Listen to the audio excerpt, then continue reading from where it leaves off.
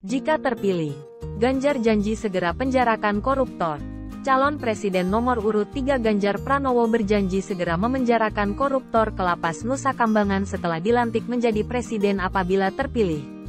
Hal ini disampaikan Ganjar saat berdialog dengan kalangan milenial dan generasi Z di Cilacap, kabupaten di mana lapas itu berada. Selasa, tanggal 9 Januari tahun 2024. Tentu jadi prioritas saya tidak pakai ratusan hari.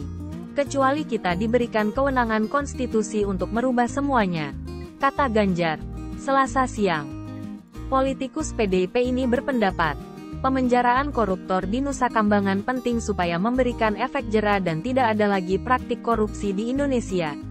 Mudah-mudahan semua bisa punya integritas. Saat diberikan amanah tidak dusta dan kemudian juga tidak pungli, tidak korupsi dan tidak mencuri kata Ganjar. Janji memenjarakan koruptor di Nusa Kambangan ini pernah diungkapkan Ganjar dalam debat pertama calon presiden pada Selasa, tanggal 12 Desember tahun 2023, lalu.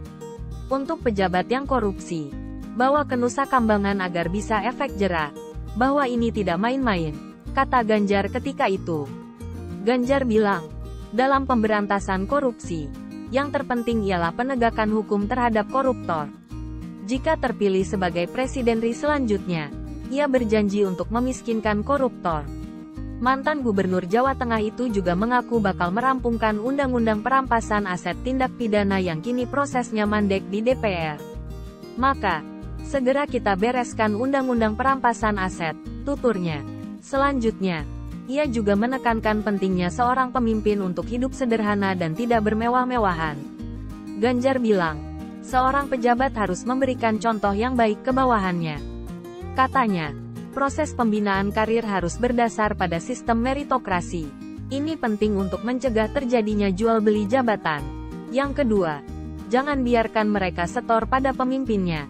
Kalau ini terjadi, kerunyaman itu akan muncul. Lanjutnya, Download Tribun X sekarang, menghadirkan lokal menjadi Indonesia.